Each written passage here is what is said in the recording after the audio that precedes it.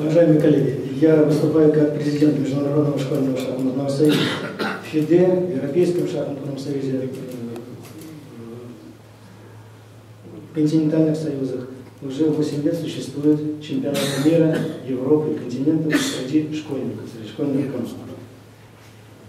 Вот только что закончился чемпионат мира среди школьников в Румынии, там 36 команд участвовало.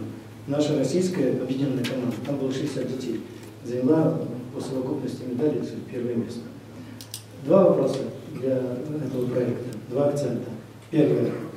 Нам нужно учитывать календарь ФИДЕ Европейского шахматного союза по школьным шахматам своих календарях. Потому что на сегодня в Лоу заканчиваются наши чемпионаты на следующий день или там через день начинаются чемпионаты ФИДЕ.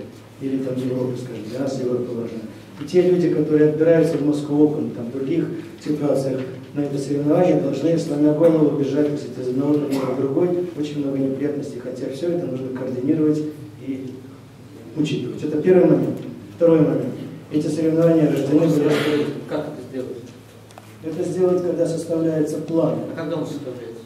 Составляется год вперед. Сроки известны. Иногда сроки соревнований, но известно до месяца соревнований.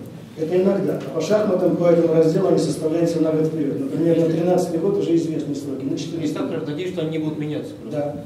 Если не будут меняться, мы, конечно, легко это учтем всегда. Ну, а, пока- если, а если будут меняться, то это Но проблема. это, это уже случайность. Да. А пока они не меняются, у нас такая ситуация происходит. И второй момент. За эти соревнования стали бороться национальные федерации. Раньше, так сказать, приходилось мне, инициатору этих турниров, вываливать каких-то. Сейчас на конгрессах ФИДЕ идет борьба за них. Уже выигрывает Перу, Сингапур, там, другие страны. На сегодня свободен 14 год.